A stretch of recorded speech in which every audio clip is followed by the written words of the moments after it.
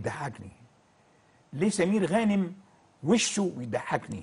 طب أستاذ مفيد ليه لو- عادل إمام ايماءة صغيرة في الزمن الذي كان بيضحكني. أيوه في الزمن الذي كان. نعم. وليس في ما مسلسلاته أنا الأخيرة. دقيق أهو ما أنا بقول لك أهو في الزمن الذي كان. تتفق معي إن مسلسلاته الأخيرة خدت من نجومية عادل إمام ولا أضافت له؟ لا عادل إمام أي شيء يعمله في نهاية الأمر فيه نجومية.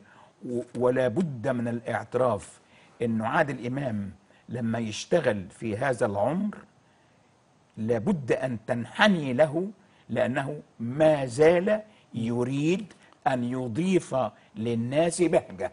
طب أستاذ مفيد ساعات بقول لنفسي أم كلثوم لو كانت عايشة النهارده بينا وعبد الحليم وعبد الوهاب